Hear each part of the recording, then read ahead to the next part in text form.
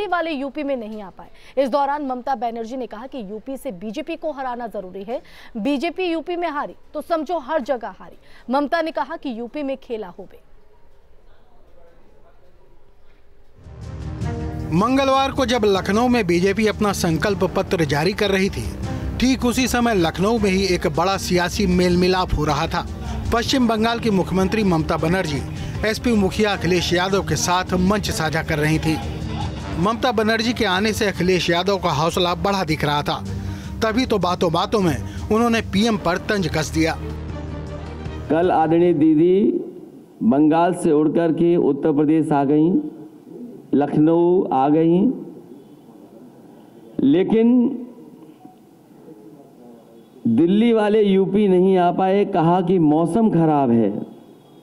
सच में भाजपा वालों के लिए यूपी में मौसम खराब है। दीदी के आने से तो भाजपा के संकट के बादल और भी गहरा गए हैं। इस बार भारतीय जनता पार्टी का झूठ का जहाज़ उत्तर प्रदेश में नहीं उतर पाएगा।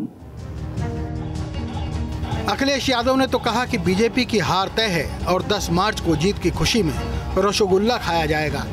पश्चिम बंगाल के चुनाव में अखिलेश ने ममता का साथ दिया था, जिसे ममता ने याद किया और कहा कि सबको इकट्ठा होकर बीजेपी को हराना है। सबसे बड़े सूबे से बीजेपी गई तो समझो हर जगह से गई।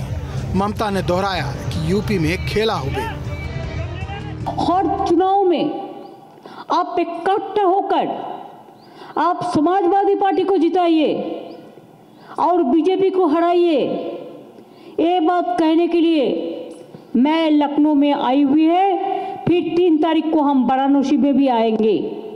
और देखो, खेला होवे खेल होंगे। और अखिलेश जीतेंगे। बीजेपी के साथ खेला होगा, उसको हम मार्च से आउट कर देंगे। बंगाल में जैसा आउट कर दिया, इधर में भी आउट कर देंगे। ममता ने आरोप लगाते हुए कहा कि सिर्फ़ बीजेपी की ही रैली हो सकती है, बाकी पार्टियों की रैली पर रोक लगी रहती है। लेकिन इस मुलाकात पर बीजेपी की प्रतिक्रिया कुछ इस तरह से है। 2017 में देखिए, जब कांग्रेस का और समाजवादी पार्टी का गठबंधन हुआ, कांग्रेस का सुपड़ा साफ़ हो गया, समाजवादी पार्टी भी साफ़ हो गई, सैंतालीस सीट पे आ गई। फिर लोकसभा में सपा बसपा का गठबंधन हुआ, साफ़ हो गया। अभी आरएलडी का गठबंधन, वो भी साफ़ हो जाएगा। जब दो असफल गठबंधन होते हैं, जिनका कोई ज़मीन पे आधार नहीं होता, जिन्होंने कुछ काम नहीं किया तो कभी सफल नहीं होते। ममता बनर्जी जी को उत्तर प्रदेश में कौन जानता है?